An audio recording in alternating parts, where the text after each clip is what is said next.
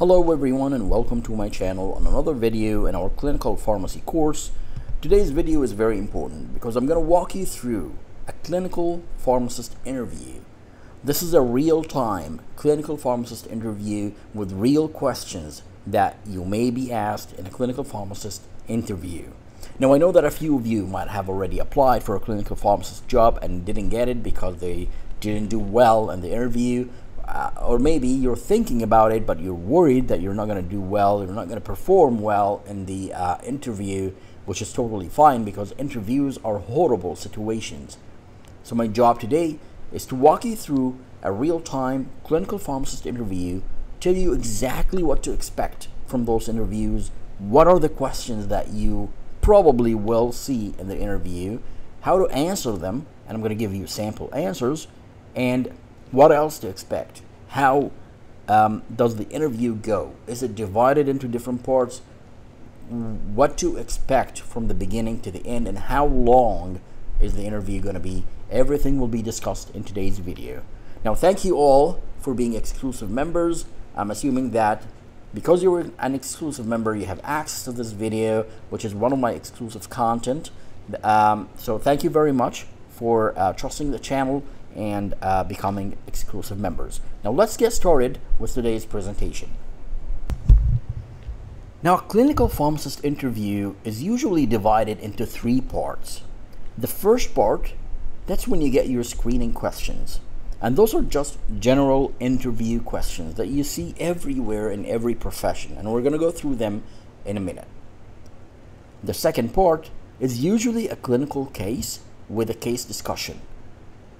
The third part is usually the clinical questions uh, section. Now, each one of these parts will have an, a panel of interviewers. They may or may not change through the interview. Um, however, from my experience as an interviewer, the first part will have one uh, interviewer or two at a max the second part, you'll be all by yourself, and then once you're done with the clinical case, the discussion part will have at least two interviewers. And the third part, that's when they usually uh, bring in a third or a fourth interviewer, uh, usually from HR, uh, in addition to another uh, clinical pharmacist, uh, plus the first two people that interviewed you at the very first stages. So don't panic if you see different people coming in, introducing themselves, and interviewing you, that's how it goes. And they have to have multiple witnesses on your answers, recording your answers, so that um, they could avoid uh, conflict of interest. So, what I'm going to go through today is the first phase, screening questions, second phase, the clinical case, the third phase, a clinical case discussion, and the fourth phase, which is the clinical questions phase. And again, because usually these interviews take over four or five hours of interviewing, I'm going to have to break this video into two or three parts. All of them will be on my channel, so you can access them whenever you want. Let's start with phase number one. Phase number one Screening questions. This is usually the first part of the interview. You have just arrived at the um, hospital or the clinic, wherever you're interviewing, um, and somebody will meet you up at the door, maybe, or somewhere at the hospital. They'll take you in a quick tour to show you around. They might buy you a coffee or water, whatever you uh, like, because it will be uh, probably early in the morning and uh, also uh, to, uh, to to loosen you up a little bit so that your your stress uh, uh, uh, lessens a little bit before your your actual interview. now, in this part, the interviewers are trying to get to know who you are, why are you applying for the job, are you truly the person you mentioned in your resume or not?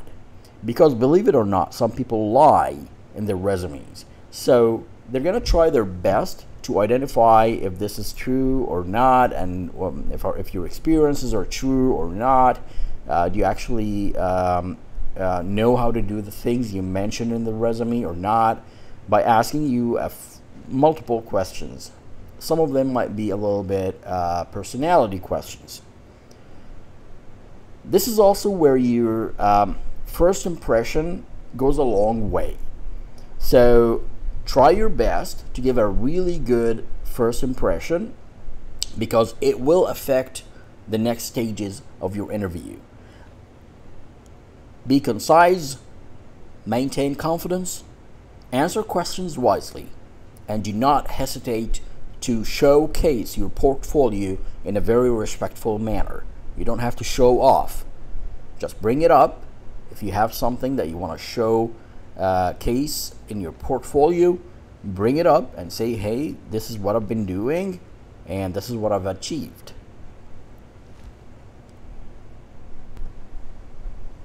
Now let's take a look at some examples of screening questions that you might be asked in a clinical pharmacist interview. Tell us a little bit about yourself. Now, this is a very common question. You will get this anywhere in any interview. They want to get to know you. Remember that. And your answers will be recorded while you're answering them and compared with your resume. So each and every interviewer in the room will have a copy of your resume. You will not have a copy of your resume, but they will. And they will be looking at the resume and comparing your answers while you're answering them. Example answer My name is Joe, and I've been a pharmacist for over 22 years. I have a Bachelor of Pharmacy and a postgrad Doctor of Pharmacy degrees, and I've been practicing as a clinical pharmacist for over 20 years now. I've had the pleasure to work for many hospitals over the years, and I've helped so many patients. You don't want to make it too long, and you don't want to make it too short this amount of uh, uh, wording is just perfect. You can add or remove any of these if you don't have them or if you have something else that you want to add up. For example, you have a Bachelor of Pharmacy degree, a Master's degree, and a Postgrad Doctor of Pharmacy degree. You can mention that, um, but don't make it too long.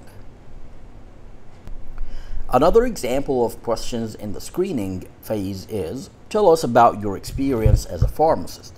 Now here they're trying to get to know the pharmacist you. A sample answer would be, my most recent experience as a pharmacist was with Cleveland Clinic, where I worked as a clinical pharmacist for the last six years.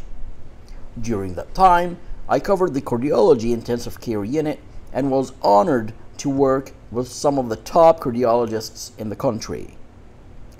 Prior to that, I worked for Johns Hopkins Hospital for three years.